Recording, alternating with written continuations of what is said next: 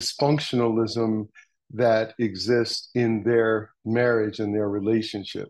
Um, I am a uh, the pastor in this little small uh, town, and um, the scene, the movie starts off at uh, a funeral where we are burying my daughter's brother-in-law, and um, um and it starts off with the most unusual kind of opening that you can imagine, which I, I'm not going to divulge because it's part of the it's part of the the the, the catch factor that really reels you in like oh my god it's an oh my god moment. And um and so my wife and i played by Debbi Morgan um administer to um my my daughter's um challenge of trying to get through this get through and into the other side of, of her relationship with this guy and help her to make the transition to get out of the relationship. And uh, that causes real problems. Um, it's a it's a it's a story about about marriage about communication about love about family. Um, and it's a really exciting um, uh, exciting film and Richard, I saw the trailer for this movie, and what really struck me, I was blown away by uh, Cory Hardrict's portrayal of Dallas. There's a real sort of sinister sort of vibe to his character. Even from the trailer, you sort of get a sense that this guy is a dangerous sort of individual that is sort of maybe has a as a way of manipulating uh, people for his own sort of good. And dare I say, you, he looks like a, a two-sided sword in terms of that. Maybe that when he's good, he's good, but when he's bad, he's very, very bad. Yeah, I mean, um, you know, I, I think uh, Cory does a is a wonderful. Everybody in the film is really terrific, um, but Cory is is especially wonderful playing this, uh, really giving into playing um, uh, this character who has a dark side, and I think it's kind of driven by um, the fact that his family um, is um, you, they're the people who live in this town who really cause the problems. He has like five brothers, and those brothers are not the nicest people. And I think Cory, um, if had if he had other influences, uh, he would take a different course in life, but he has all the influence from from um, his his family, and they were not raised properly, if you will, um, and, and, so they don't turn out that well. But he has, uh, a, as you say, a double-edged sword. He could be a great guy, but he has this great influence from his brothers. Yeah. And Richard, how did this opportunity fall on your doorstep? Was it a traditional talent agent sort of uh, Zoom uh, recordings, videotaped editions, or was there a bit of story where did the producers, directors, did Tyler Perry, did they reach out to you in terms of this specific role of Clarence? Well, I've worked with Tyler before. I did a movie called uh, For Colored Girls uh, in 2010, which we had an all-star cast um, and so he knew my of my work, and he offered he offered me the part.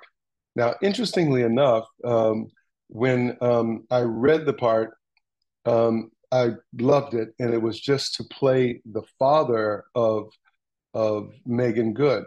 Um, the night before, I should say, the morning of, um, uh, we were supposed to start shooting, I believe, on the 19th of the month.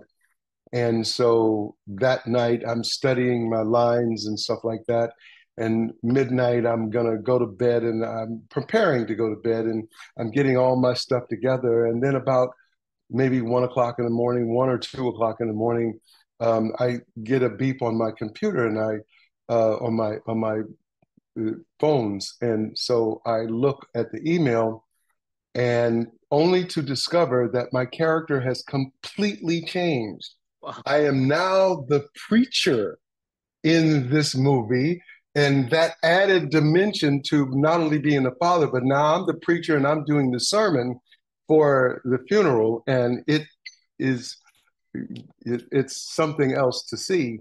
And so it was like, oh my God, I got to now revamp my idea and concept around who Clarence is and add this whole other, you know, um, God fearing component to it. And it was, um, uh, and so we just made it work.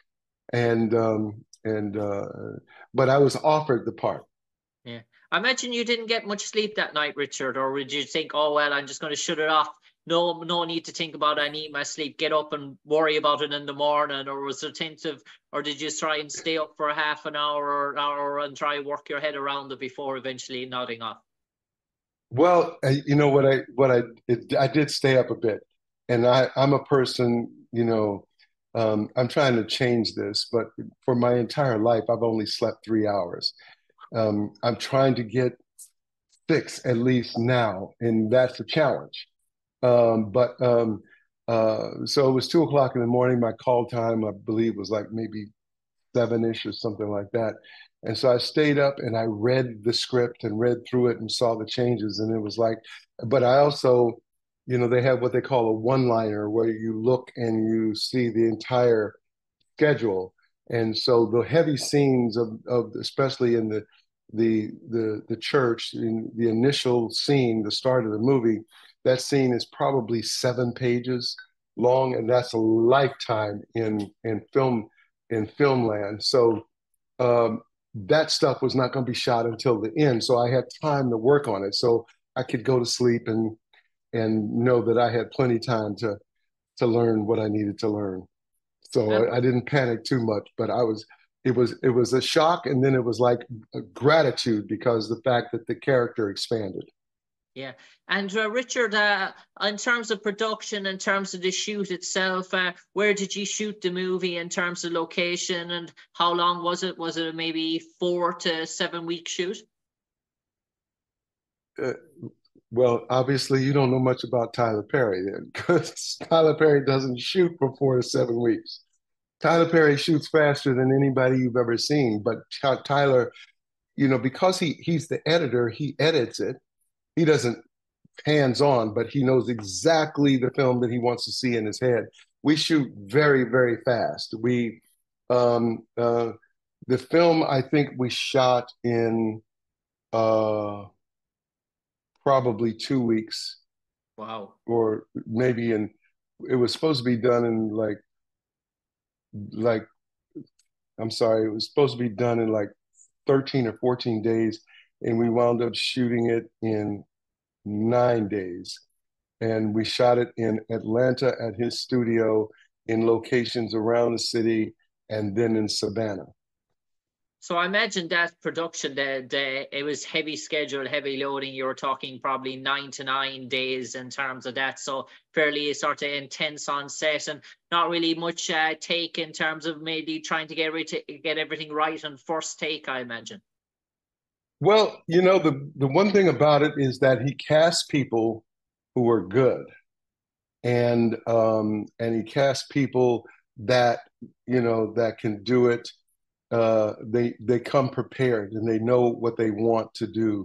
Um, it is the, the the work we shoot. You know, sh- the average show will shoot maybe eight nine pages a day. We will shoot as many as 40, 50 pages a day. Um, now, somebody else, most actors will look at that and say, What? Oh my God. But, you know, if you operate in the Tyler Perry world, you are used to it. You know how to become prepared.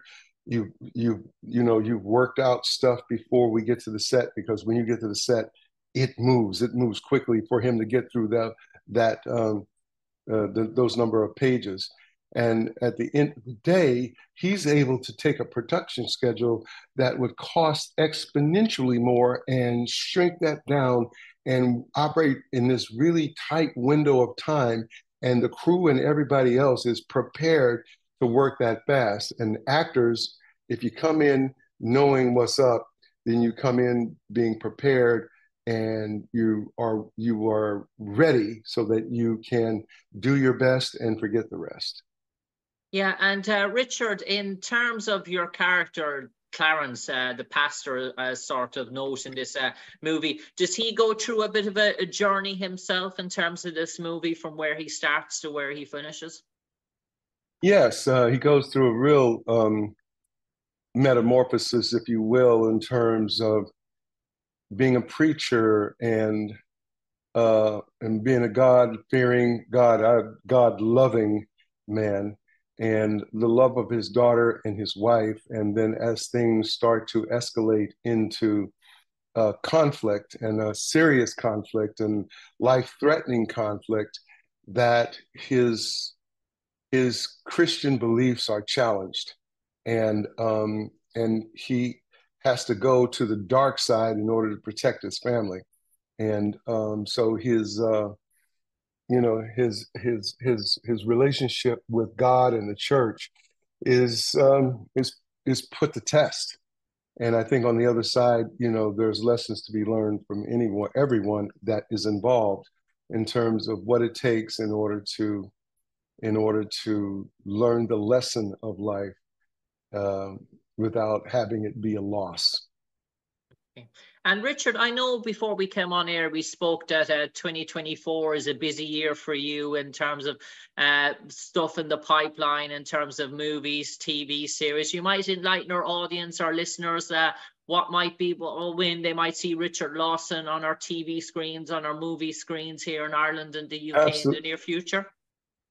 Absolutely. Thanks for asking. Um, currently, I'm on a show called divorce. I mean, uh, called uh, the Black Hamptons. That can be seen on BET Plus. I'm on a show called um, uh, the Miss Pat Show, which is currently airing. Both of those things are currently airing now, um, and uh, that's on BET Plus. Um, uh, this the, the the next thing to come out is um, Divorce in the Black. Um, uh, following that, I've been a show called um, Aftershock, the Nicole Bell story, which is a true story about Sean Bell, who was shot at 50 times by police on his wedding day in 2006. And I play Reverend Al Sharpton.